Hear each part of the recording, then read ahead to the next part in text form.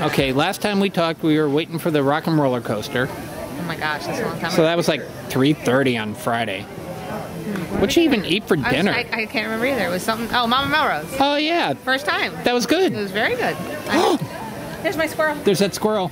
Every year. He's an attack squirrel. well, he's gonna eat my popcorn. Mama Melrose Friday. It was good. And then we, we went back to the room because I had to get up at 2.30 Saturday morning. And I got up at 2:40. Yeah. Very nice. It was the best because Dave actually drove me to the start, then waited with the team with me. I can't thank you enough for your comment at 3 o'clock this afternoon. Have a wonderful run. I'll be out there